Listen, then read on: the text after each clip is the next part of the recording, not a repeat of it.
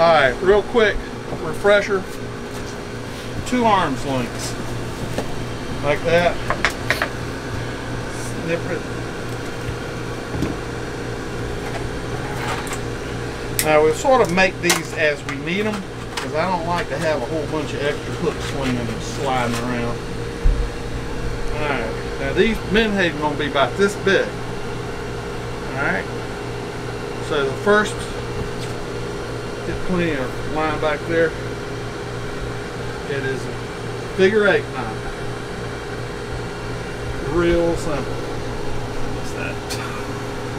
He wants to, he wants to do it again. Just go around twice. Let me re-download my knot tie now. Alright, stand up here so you can see it. Alright, I go behind it, underneath it, back around, and come in behind the loop. Oh. Called a figure eight. There's the eight. And then tie it down. Then the second one. This is called the stinger hook.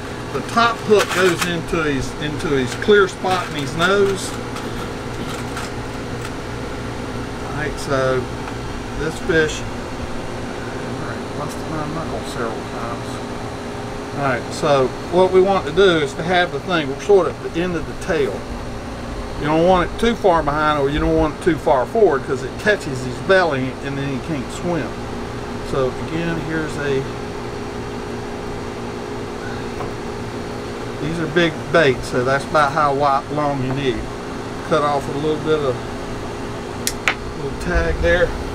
Now sometimes we'll run a, a, a king buster. Most of the time we're actually running them naked.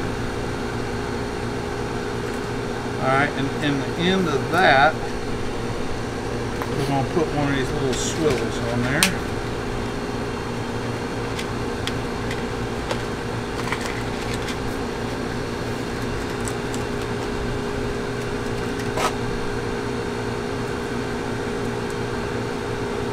I mean, one time we had a guy that was designated making this wire. He never caught a fish because all he was doing was rigging rigs.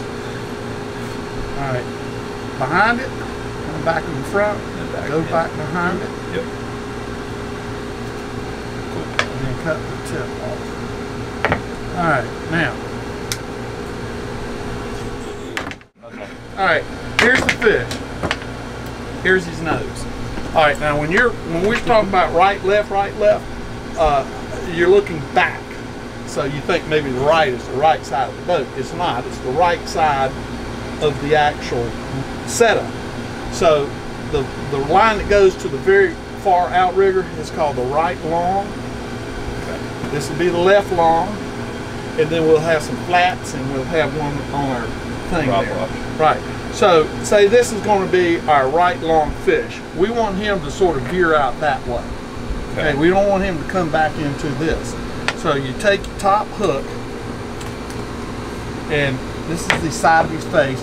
So you go from his right side to his left side. And then that way it'll plane him like that and he'll go this way. If you come from the outside in, he'll want to way. come this way. So if it's on this side, then he goes on the left side of his face, from in, always from inside out. It's amazing how that makes a difference there this is basically